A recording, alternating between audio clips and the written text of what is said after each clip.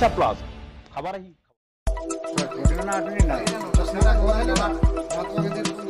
सिख बेवता जिंदाबाद जिंदाबाद जिंदाबाद सिख बेवता जिंदाबाद जिंदाबाद जिंदाबाद सिख बेवता जिंदाबाद जिंदाबाद सिख बेवता जिंदाबाद जिंदाबाद जिंदाबाद सिख ରାଇରଙ୍ଗପୁର ବ୍ଲକ ଶିକ୍ଷାଧିକାରୀଙ୍କ କାର୍ଯ୍ୟାଳୟ ସମ୍ମୁଖରେ ଗଣଧାରଣା। ରାଇରଙ୍ଗପୁର ବ୍ଲକ ଶିକ୍ଷାଧିକାରୀଙ୍କ କାର୍ଯ୍ୟାଳୟ ସମ୍ମୁଖରେ ରାଇରଙ୍ଗପୁର ବ୍ଲକର ସମସ୍ତ ପ୍ରାଥମିକ ଉଚ୍ଚ ପ୍ରାଥମିକ ବିଦ୍ୟାଳୟରେ କାର୍ଯ୍ୟରତ ସମସ୍ତ ବର୍ଗର ଶିକ୍ଷକ ଶିକ୍ଷୟିତ୍ରୀମାନଙ୍କର ଦାବି ନ ପୂରଣ ହେବା ଯାଏ ସମୂହ ଛୁଟିରେ ରହି ଗଣଧାରଣା ଡାକରା ଦେଲେ। ସେମାନଙ୍କର ତିନି ଦଫା ଦାବିଗୁଡ଼ିକ ମଧ୍ୟରେ ପ୍ରଥମଟି ହେଉଛି ପ୍ରାଥମିକ ଶିକ୍ଷାରୁ ଠିକା ନିଯୁକ୍ତି ଉଚ୍ଛେଦ କନିଷ୍ଠ ଶିକ୍ଷକମାନଙ୍କୁ ନିୟମିତ ଶିକ୍ଷାକର୍ମୀ ଏବଂ ଶିକ୍ଷା ସହାୟକ କାର୍ଯ୍ୟକାଳକୁ ନ୍ୟାସନାଲ ଇନକ୍ରିମେଣ୍ଟ ପ୍ରଦାନ କରି ମୂଳ ଚାକିରିରେ ଗଣନା କରିବା। ଏକ୍ସ କ୍ୟାଡର ଶିକ୍ଷକମାନଙ୍କୁ ଏଲିମେଣ୍ଟାରୀ କ୍ୟାଡରଭୁକ୍ତ କରିବା ସହିତ କଳା ଓ କ୍ରୀଡ଼ା ଶିକ୍ଷକମାନଙ୍କୁ ନିୟମିତ ଶିକ୍ଷକର ମାନ୍ୟତା ପ୍ରଦାନ କରାଯାଉ। ଦ୍ୱିତୀୟଟି ହେଉଛି ସମସ୍ତ ବର୍ଗର ପ୍ରାଥମିକ ଶିକ୍ଷକମାନଙ୍କୁ କେନ୍ଦ୍ରୀୟ ହାରରେ ମୂଳ ବେତନ ଲେବୁଲ ନ ଅନୁଯାୟୀ ଗ୍ରେଡ୍ ପେ ଚାରି ହଜାର ଦୁଇଶହ ପ୍ରଦାନ କରାଯାଉ। ତୃତୀୟଟି ହେଉଛି ନୂତନ ପେନ୍ସନ୍ ବ୍ୟବସ୍ଥାକୁ ଉଚ୍ଛେଦ କରି ପୁରୁଣା ପେନ୍ସନ୍ ପୁନଃ ପ୍ରଚଳନ କରାଯାଉ। ଏହି ଉଦ୍ଦେଶ୍ୟରେ ରାଇରଙ୍ଗପୁର ବ୍ଲକର ପ୍ରାଥମିକ ଶିକ୍ଷକ ସଂଘ ବ୍ଲକ ଶିକ୍ଷାଧିକାରୀଙ୍କ ଅନୁପସ୍ଥିତିରେ ସହକାରୀ ଗୋଷ୍ଠୀ ଶିକ୍ଷାଧିକାରୀ କାର୍ତ୍ତିକ ଚନ୍ଦ୍ର କାରୁଆଙ୍କର କାରୁଆଙ୍କୁ ସେମାନଙ୍କର ଦାବିପତ୍ର ପ୍ରଦାନ କରିଥିଲେ। ସେମାନଙ୍କ ଦାବି ନ ପୂରଣ ହେବା ଯାଏଁ ସାମୂହିକ ଛୁଟିରେ ରହିବେ ବୋଲି ଶ୍ରୀ କାରୁଆ ଜଣାଇଥିଲେ। ଏଥିରେ ରାଇରଙ୍ଗପୁର ବ୍ଲକ ପ୍ରାଥମିକ ଶିକ୍ଷକ ସଂଘର ସମସ୍ତ ଶିକ୍ଷକ ଶିକ୍ଷିକା ଉପସ୍ଥିତ ଥିଲେ। ସେମାନଙ୍କ ମଧ୍ୟରେ ବ୍ଲକ ସଭାପତି ଅଜିତ ମହାନ୍ତ ଜିଲ୍ଲା ଜୋନାଲ ସମ୍ପାଦକ ଅରବିନ୍ଦ କୁମ୍ଭକାର ଜିଲ୍ଲା ଉପସଭାପତି ପୁରୁଷୋତ୍ତମ ମହାନ୍ତ ଜିଲ୍ଲା କାର୍ଯ୍ୟକାରୀ ସଭାପତି ଅନିଲ ମହାନ୍ତ ବ୍ଲକ ସମ୍ପାଦକ ଅଜିତ ମଣ୍ଡଳ ଜୁନିୟର ଶିକ୍ଷକ ସଭାପତି ସମୀର ବିନ୍ଧାଣୀ ରୁଦ୍ରଗିରି ଦେବବ୍ରତ ଗିରି ସ୍ୱର୍ଣ୍ଣପ୍ରଭା ଦଳେଇ ଆଶିଷ ମଣ୍ଡଳ ମୃତ୍ୟୁଞ୍ଜୟ ମହାନ୍ତ ରାଜୀବ ମିଶ୍ର ଗଣେଶ ବାରିକ ଆରତୀ ଗସ୍ତି କାନନ ଭୋଳ ଧନଞ୍ଜୟ ରାମ ପ୍ରଶାନ୍ତ ଶତପଥୀ ବିରାସ ମହାନ୍ତ ଶଶାଙ୍କ ପଟ୍ଟନାୟକ ବାଲୁକେଶ୍ୱର ସେଠୀ ତଥା ଅନ୍ୟମାନେ ଯୋଗ ଦେଇଥିଲେ। ରାଇରଙ୍ଗପୁର ସାମଳନ୍ତ ପରିଡ଼ାଙ୍କ ରିପୋର୍ଟ ଓଡ଼ିଶା ପ୍ଲସ୍।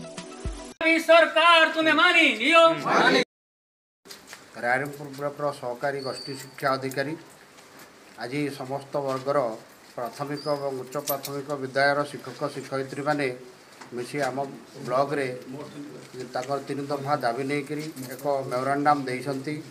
ତାଙ୍କର ଉଦ୍ଦେଶ୍ୟ ଦାବି ପୂରଣ ନହେଲେ ସେମାନେ ସାମୂହିକ ଛୁଟିରେ ରହିବେ। ଧନ୍ୟବାଦ। ତିଲେଇଝରି ପ୍ରାଥମିକ ପ୍ରାଥମିକ ବିଦ୍ୟାଳୟର ଜଣେ ଶିକ୍ଷକ ସରକାର ଆମର ନବୀନ ସରକାର ଆମକୁ ସେ ଛୁଆ ଖେଳିଲା ଭଳିଆ ଖେଳୁଛନ୍ତି ଯଦ୍ୱାରା କି ଆମେ ବାଧ୍ୟ ହେଇଛୁ ଆଜି ଏଇ ପରିସ୍ଥିତିରେ ପହଞ୍ଚିବା ପାଇଁ ତାଙ୍କର ଯେଉଁ କାର୍ଯ୍ୟକ୍ରମ ଛୁଆ ଛୁଆ ଭୁଲାଣିଆ ଯେଉଁ କାମ ସେଇଟା ଆମକୁ ବଡ଼ ବାଧୁଛି ମନ୍ତ୍ରୀମାନେ ନେତାମାନେ ପାଞ୍ଚ ବର୍ଷ ଦୁଇ ବର୍ଷ ଖଟିଲା ପରେ ସେମାନେ ପେନ୍ସନ୍ ପାଉଛନ୍ତି। କିନ୍ତୁ ଆମେ ତିରିଶ ବର୍ଷ ଚାଳିଶ ବର୍ଷ ଖଟିଲା ପରେ ମଧ୍ୟ ଆମର କୌଣସି ପେନ୍ସନ୍ ନାହିଁ କି ଆମର କୌଣସି ପତା ନାହିଁ। ହିନ୍ଦୀରେ କହିଲା ଭଳିଆ ଲାଗାଦ ଭାଗାଦ। ସେଇଭଳିଆ ଆମେ ପରିସ୍ଥିତିରେ ରହିଛୁ।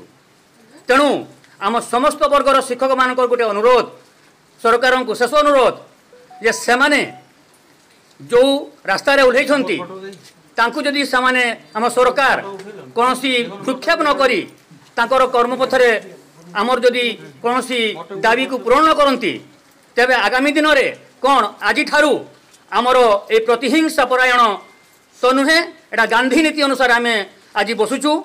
ପର ମୁହୂର୍ତ୍ତରେ ଏହା ପ୍ରତିହିଂସାରେ ମଧ୍ୟ ପରିଣତ ହୋଇପାରେ। ଦାବି ଗୁଡ଼ାକ ହେଲା ଆମର ଯେଉଁ ଛଅ ବର୍ଷ କାଳ ଆମେ ଯେଉଁ ଖଟିଛୁ ଠିକା ଭାବରେ ତାକୁ ଆମେ ଚାହୁଁଛୁ ଯେ ସେଟା ଆମର ଇନକ୍ରିମେଣ୍ଟ ସହିତ ମାନ୍ୟତା ଦିଆଯାଉ ଏବଂ ନୂତନ ପେନ୍ସନ୍ ଯେଉଁ କରିଛନ୍ତି ତାହା ଉଚ୍ଛେଦ କରି ପୁରୁଣା ପେନ୍ସନ୍ ଯୋଗାଇ ଦିଆଯାଉ। ସମସ୍ତ ବର୍ଗର ଶିକ୍ଷକମାନଙ୍କୁ ଯେଉଁ ଛଅ ବର୍ଷ ଖଟିବା ପାଇଁ ବାଧ୍ୟ କରୁଛନ୍ତି ତାହା ବିଲକୁଲ ଉଠାଇ ଦିଅନ୍ତୁ।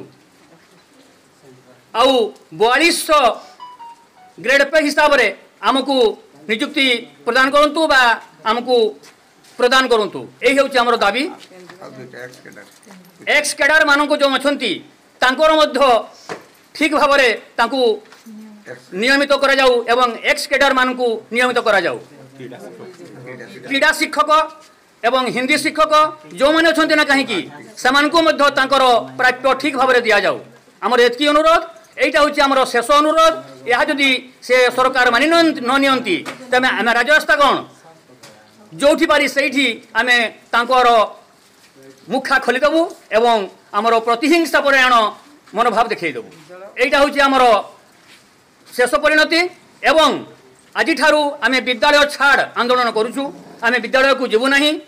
ଯେଉଁ ଶିକ୍ଷକମାନେ ଯିବେ ତାଙ୍କର କରନ୍ତୁ ଯେଉଁମାନେ ଅଛନ୍ତି ତାମେ କରନ୍ତୁ। କିନ୍ତୁ ଆମମାନଙ୍କର ହେଲା ଯେ ଆମେ ଏକ୍ସ କେଡ଼ର ହେଲା କି ଆମେ ଯେଉଁ ଛଅ ବର୍ଷ ଗତି ଖଟିଥିଲୁ ସେଇ ଶିକ୍ଷକମାନେ ହେଲା ଆମେ କେବେ ଏଇ ପ୍ରାପ୍ୟ ନ ପାଇଲା ପର୍ଯ୍ୟନ୍ତ ଆମେ ବିଦ୍ୟାଳୟକୁ ଯିବୁ ନାହିଁ। ଏହା ମୋର ଶେଷ। ପ୍ରାଥମିକ ବିଦ୍ୟାଳୟର ଶିକ୍ଷକ। ଆଜି ଆମର ଦାବି ଥିଲା ସମୂହ ଶିକ୍ଷକ ପାଇଁ ସବୁ ବର୍ଗର ଶିକ୍ଷକ ପାଇଁ ଏ ଧାରଣା। କିନ୍ତୁ ଆମର ମୁଖ୍ୟ ତିନୋଟି ସମସ୍ୟା ରହିଛି। ଗୋଟେ ହେଉଛି ଆମର ଛଅ ବର୍ଷ ଯେଉଁ କଣ୍ଟ୍ରାକ୍ଚୁଆଲରେ ଖଟିଥିଲୁ ସେଇ କଣ୍ଟ୍ରାକ୍ଚୁଆଲ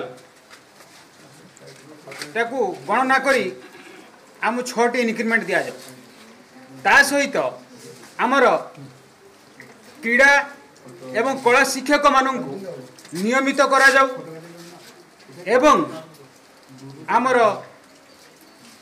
କେନ୍ଦ୍ରୀୟ ହାରରେ ବେତନ ଦିଆଯିବା ପାଇଁ ମୁଁ ସରକାରଙ୍କ ପାଖରେ ନିବେଦନ କରୁଛି।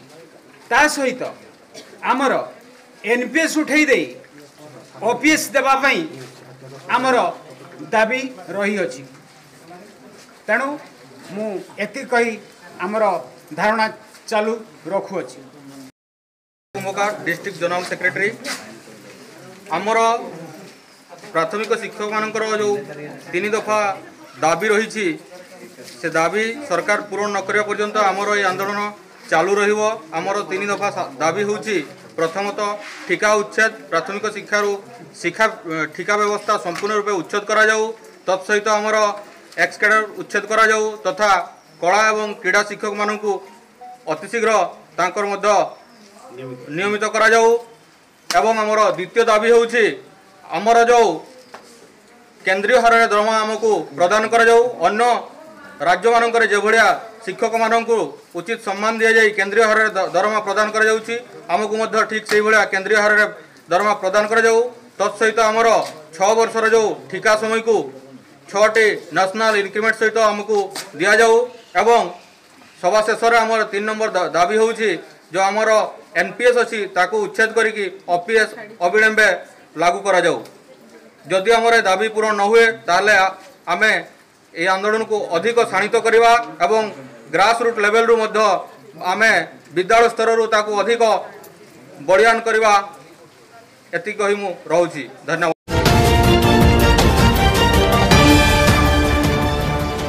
ଓଡ଼ିଶା ପ୍ଲସ୍